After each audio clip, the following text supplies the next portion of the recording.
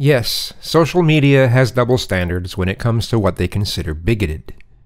Bad things said against minorities is not tolerated, but things said against the majority is fully tolerated.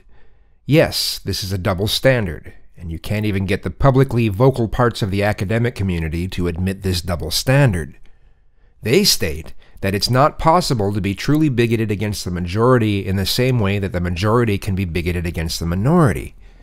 As this may somewhat be true, as power does play a big role in how bigotry can affect people, it shouldn't mean that we completely diminish the bad effects that bigotry against the majority can have.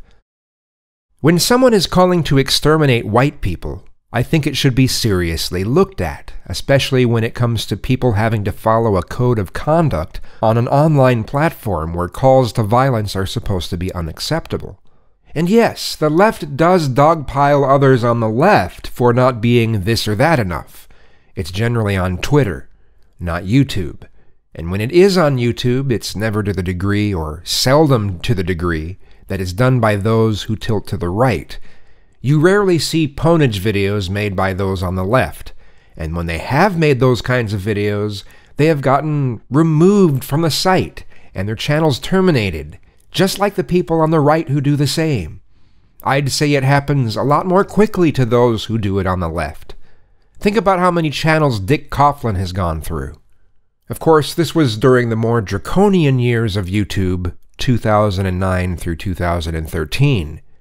They were brutal about their terms of service during that period. Then from 2014 to early 2016, YouTube stopped enforcing much of their terms of service. Then by late 2016, they started ramping up the enforcement of their rules, due to the reputation they were getting in media and complaints they were getting from users and especially from their real customers, the advertisers. And now people like Dick Coughlan aren't doing pwnage videos at all anymore.